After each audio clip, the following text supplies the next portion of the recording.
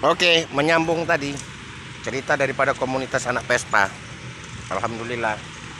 Jadi mereka ini kebetulan dia memberikan waktu untuk kita berbincang-bincang tentang bagaimana keadaan daripada anak Vespa. Jadi sekali lagi tidak sehina apa yang kalian duga. Mereka ini hanya membuat suatu sensasi, membuat kesenangan pribadi. Tidak ada lain dan mereka tidak merugikan daripada masyarakat sekitarnya. Kita apa tadi? Bang Diki om. Bang. Bang, salut nengok kamu. Ya kita bangga. Cuman kita nggak ada bisa bagi apa-apa sama kamu. Ya cuman kita cuman lihat baru ini baru kita bisa ketemu dengan abang komunitas Vespa seluruh Indonesia. Nama komunitasnya nggak ada bang?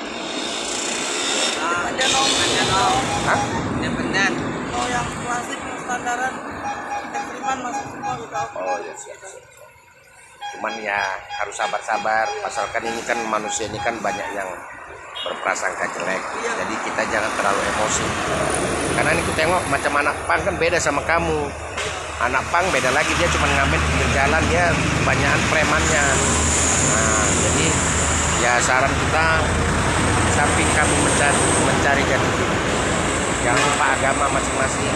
Ya pemain Islam tadi sholat sholat Islam. Ya mereka lebih baik seperti ini daripada mereka mengganggu daripada masyarakat yang lain.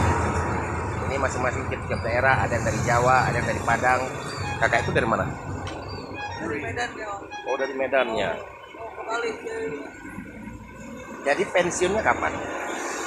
Apakah abang tuh nggak kepingin nikah? Paling apakah ini selesai misi udah kan dari Sabang mau nganterinnya ke Bali pulang ke rumah udah diam di rumah. Nikahnya itulah Mau nikah? nikah dulu nyari Jadi kerjaan dulu kan. setelah daripada ini nanti kalau mencari kerjaannya gimana? Nyari kerjaannya makan kebutuhan hidup. Ya kalau nikah kan kalau kita nggak ada kerja gimana ya perempuan? kerja dulu lah nyari kerja dulu. Kerja dulu ya. Itu Sama udah berapa tahun juga, dua tiga udah dua tiga tahun ini kan kemarin juga sebelum jalan izin ke keluarga dulu kan kan tadinya lagi kerja. Oh. Pengen jalan dulu. Jadi orang tua tetap komunikasi tetap ya? Dia tetap kita. Terima kasih bang. Jadi tadi kan abang yang nampak jadi aku ingin juga nampak bahwasanya itu nyata bahwasanya aku berbicara sama anak komunitas Vespa ya. Jadi kalau sudah dapat target ya sudah istirahat dulu makan lanjutkan perjalanan. Ya jangan lupa juga tonton daripada komunitas tadi ini Ismet Ardan Sitorus Channel. Oke terima kasih banyak penghargaan yang begitu besar kita ketemu dengan komunitas Vespa. Ingat sekali lagi mereka tidak mengganggu daripada yang lain. Dan mereka juga bukan orang miskin tapi mereka mencari jati diri. apabila ada saudara-saudara kita ingin membantu silakan bantu mereka karena mereka sekali lagi tidak mengganggu daripada masyarakat oke ya terima kasih banyak bang ya. Oke oke. Assalamualaikum warahmatullahi wabarakatuh. Selamat siang. Di sini kita mengambil ada sosok sekelompok ataupun anak-anak muda yang hari-harinya dia menaiki Vespa. Tapi kita mungkin orang ini dia hanya mencari jati dirinya untuk kebebasan. Bukan berarti mereka ini adalah orang yang serba kekurangan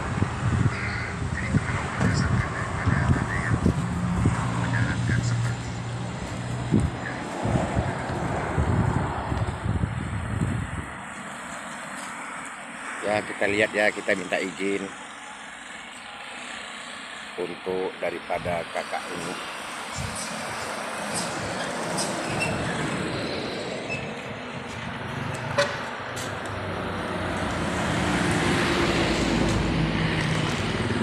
Kak. Kakak. Kak. Nih, aku bagi ya. Boleh ya sedikit ya. Ambil untuk kepribadian kakak. Ini dengan kakak siapa nih? Tio. Oh, ya. Bisa bagi-bagi rahasia sedikit bang. Ini dari mana bang? Oh, saya Padang, Bang. Ya, Padang, mana? Padang. Padang. Oh, orang awaknya. Oh, jadi ini ini maksudnya yang seperti ini nih apa bang? Tujuannya apa dan untuk apa? Dari pengalaman sama saudara lah jalan Ya, ini termasuk anak pang ya bukan? Vespa. Oh ini komunitas Vespa. Oh berarti komunitasnya Vespa bang ya. Jadi apa yang bisa abang ambil daripada Jalan bang ya. Ya, kita belajar lah. Rasa pahit hidup jalan. oh Kita ngerasain gimana orang-orang bisa jalan ke mana. Kita ngerasain mana kita tak punya apa-apa. Apa-apa jadi mau ngerasain penting ngerasain.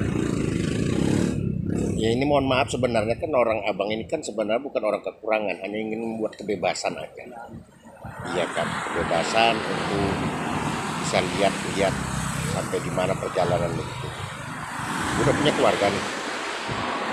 Belum masih lagak. Itu Padang di mana? Padang di Pasaman. Oh Pasaman. Jadi ini kakak yang satu ini dari mana? Hah? Riau. Apa? Duri.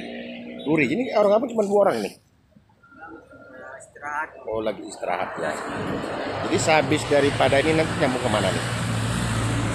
Ya, Mau ke Jawa nih? Berapa hari sampai tuh? kira kadang kawan-kawan dari Jawa kemarin setahun. Setahun. Kalau ini kan Jawa. Orang tua masih ada? Jadi nggak pernah nyari ya orang tua tuh?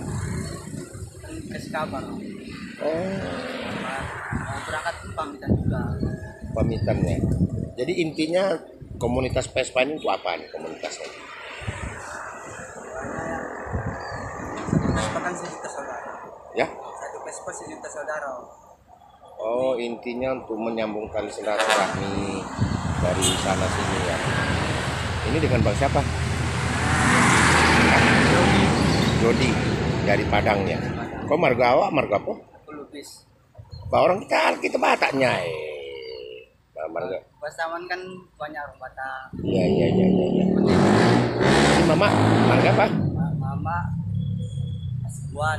Kasibuan. Jadi aslinya dari mana? Ya, bersama. Empat Saman. Oh berarti Atok dulu memang dari situ ya. Oke oke bang. Ini kita tertanya-tanya, makanya kan orang banyak bertanya ini komunitas Vespa. Komunitas Vespa adalah ingin menikmati perjalanan dan menyambung tali silaturahmi dari Sabang sampai Merauke. Jadi pernah ada komunitas kumpulnya itu di mana? Pernah ada nggak?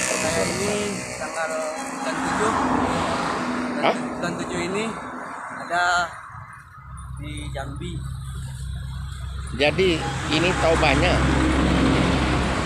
Ini kan abang sebenarnya kan abang komunitas abang kan abang kan meminta-minta seperti ini. Sebenarnya kan ingin mencoba juga ya orang bagaimana rasa perhatian orang ke, ke kita ya kan. Jadi kalau sekiranya nggak dapat target kan berarti ada cadangan lain. Hah? Ya jadi nggak nggak se nggak se seburuk apa yang dibayangkan kepada orang lain. Dia hanya gaya pakaian Ya, oke, oke, siap, Bang, siap. Terima kasih banyak. Jadi orang banyak-banyak bertanya. Sebenarnya ini mereka-mereka ini adalah orang-orang yang orang-orang yang punya pendidikan. Ya, terkadang mau mau mengambil pengalaman hidup. Iya, iya. Ini masing-masing kan rata-rata udah punya kerja semua. Cuman kan mau kalau yang namanya kerja aja mungkin bosan. Ya, Kemudian Vespa ini kan memang termasuk barang yang langka. Jadi dia menghidupkan kembali Vespa yang zaman dulu. Ya kita lihat ini beginilah keadaan mereka. Nah, oke terima kasih banyak. Ini hal yang paling untuk bisa mendapatkan informasi seperti ini. Ya terima kasih. Jadi jangan banyak berburuk sangka kepada abang-abang kita ini mereka buat seperti ini adalah untuk tujuan kesenangan pribadi dan menyambung tali silaturahmi. Ini apa bang? Kalau buaya bang, Oh, ke buaya no.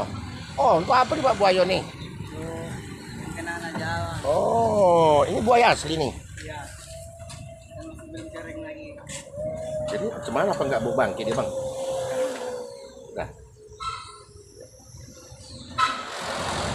Ini kita berada di sekitaran Pertamina SPBU Bunut. Ya, terima kasih atas keterangannya untuk Bang John.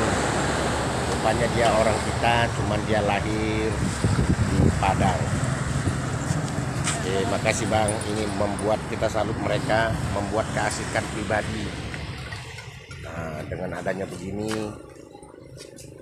ya kalau ada yang ingin berbagi ya berbagi.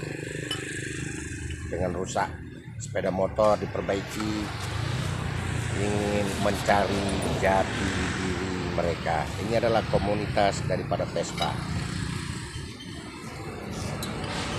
Salam-salam untuk komunitas Vespanya Bang. Di sini kan ada juga komunitas kan? ada. Ya semalam pun itu ada ketemu juga kita sama orang komunitas Pak. Itu ada komunitas kita Vespa semalam kumpul dari Medan. Jadi ini habis dari sini menuju ke mana nih? Ke Jawa? Jawa, pulang. Hah? Pulang dulu. Pulang dulu. Ya. Kampung abang di mana? Di Tangerang om. Jawa Barat. Lah jadi dia ke Padang, abang Tangerang. Iya. Jadi ketemunya cemana? Lanjut perjalanan gitu. Iya. Allah. Udah berapa lama bang perjalanan nih? Tahun om. Setahun belum pernah pulang. Iya.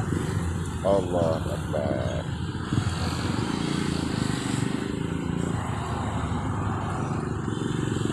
Jadi kan kalau memang komunitas kalau nggak ada ilmu mana berani kita mau jalan, ya kan?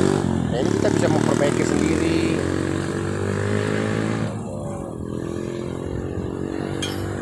Ya begitulah ya. Ya. Ya ya terima kasih banyak sama kakaknya juga. Jadi tolong dihargai bahwasanya komunitas Vespa ini hanya untuk mencari jati diri dan coba berbagi kepada orang yang ingin berbagi kepada. Alhamdulillah. Terima kasih murah rezeki. Rezeki kita udah kumpulkan aja dulu. Alhamdulillah. Udah makan nasi belum? Oh ya udah nanti makan nasi dulu baru makan salak ya. Alhamdulillah dapat salak. Allah Akbar. Oke. Sampai di situ jangan lupa like and subscribe YouTube Ismet Ardan Storus. Kita langsung berbicara dengan komunitas Vespa seluruh Indonesia. Bahwasanya mereka berbuat seperti ini adalah untuk jati diri dan kebebasan. Kebebasan dalam arti yang positif. Terima kasih Bang. Oke ya, salam-salam ya. Terima kasih Mbak. Ya. Oke. Merinding kita lihatnya sih. Ya. Beginilah, tapi jangan mereka kucilkan. Mereka ini hanya untuk membuat kesenangan pribadi dengan tujuan bersilaturahmi antara dari Sabang sampai ke Maroke. Jangan lupa like and subscribe YouTube Ismet Ardan Sports Channel.